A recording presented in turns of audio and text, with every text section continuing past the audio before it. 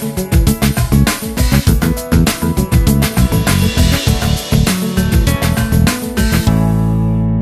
వార్తలోని వివరాలు. ముందస్తు ఎన్నికలకు బహుజన లెఫ్ట్ ఫ్రంట్ వ్యతిరేకమన్నారు తమ్మినేని వీరభద్రం. ఎన్నికలకు మరో ఆరు నెలలు సమయం ఉన్నప్పటికీ ఒక వ్యక్తి కోసం ముందస్తుగా ఎన్నికలను నిర్వహించడం ప్రజలపై ఆర్థిక భారాన్ని మోపడమేనన్నారు. మేము టీఆర్ఎస్కు వ్యతిరేకం కాదని అగ్రకుల పాలనకు మాత్రమే వ్యతిరేకమన్నారు. కరీంనగర్ ఆర్ఎండ్బి గెస్ట్ హౌస్లో బహుజన లెఫ్ట్ నేత తమ్మినేని వీరభద్రం మీడియాతో మాట్లాడారు. ముందస్తు ఎన్నికల పేరుతో టీఆర్ఎస్ పార్టీ ప్రజలపై ఆర్థిక భారాన్ని మోపడాన్ని ఆయన ఖండించారు. టీఆర్ఎస్కు తాము వ్యతిరేకం కాదని కానీ అగ్రకులాల పాలనకు వ్యతిరేకమన్నారు. గత నాలుగున్నర సంవత్సరాల్లో టీఆర్ఎస్ ప్రభుత్వం చేపట్టిన అభివృద్ధి పనుల పేరుతో నిర్వహించిన ప్రగతి నివేదన సభకు టీఆర్ఎస్ పాలకులు చెప్పిన ఇరవై ఐదు లక్షల మందిలో సగం మంది కూడా రాలేదన్నారు.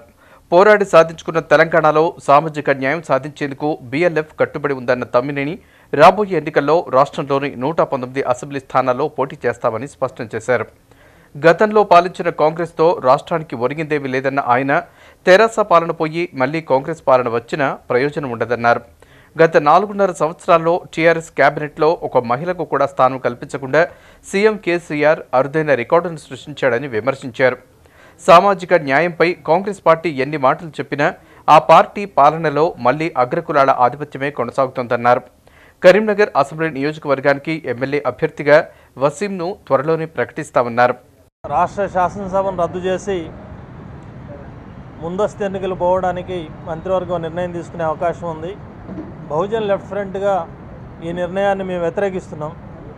కారణం ఏంటంటే ఇంకొక ఆరు మాసాల్లో పార్లమెంటుకు అసెంబ్లీ ఎన్నికలకు కలిసి జరగాల్సి ఉండగా ఇప్పుడు మళ్ళీ మధ్యంతరంగా మూడు మాసాలకే ఎన్నికలు జరపడం మళ్ళీ ఇంకో మూడు మాసాలకి ఇంకొక ఎన్నిక జరపడం ఇవన్నీ రాష్ట్ర ప్రజానీకం మీద రాష్ట్ర ప్రభుత్వం మీద అదనపు భారం తప్ప దీనివల్ల రాష్ట్రానికి కానీ రాష్ట్ర ప్రజలకు కానీ జరిగే ఉపయోగం కానీ అభివృద్ధి కానీ ఏమీ ఉండదు. కాబట్టి కేవలం టీఆర్ఎస్ పార్టీ సొంత అవసరాల కోసం స్వార్థం కోసం రాజకీయ లబ్ధి కోసం మాత్రమే ప్రజలపైన ఈ భారం పెడుతున్నారనేది రాజకీయ పార్టీలపైన ఈ భారం పెడుతున్నారనేది వాస్తవం.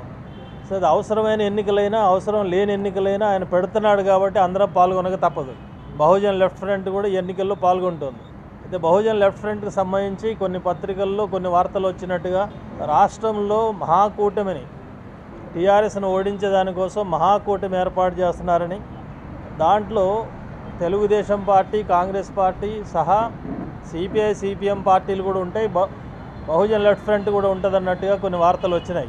ఇది వాస్తవం కాదు అని నేను ఖండిస్తున్నాను. అధికార దుర్వినియోగం నడుస్తోంది. మొన్న జరిగినటువంటి ప్రగతి నివేదన సభ కూడా దాదాపు మూడు వందల కోట్ల రూపాయలు ఖర్చు పెట్టారని తెలుస్తోంది.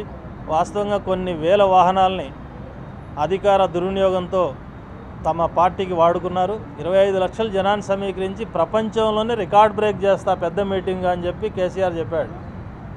అదైతే ఆ రికార్డ్ అయితే ఆయన కొట్టలేకపోయాడు కానీ ఇంకొక రికార్డు సాధించాడు. ఎందుకంటే మొన్న వరంగల్ పోయినప్పుడు తెలుసుకుంటే వరంగల్ జిల్లాలో ఆ రెండో తేదీ సభ నాడే ఒకే ఒక్కరోజు పదకొండు కోట్ల రూపాయల మద్యం అమ్మింది.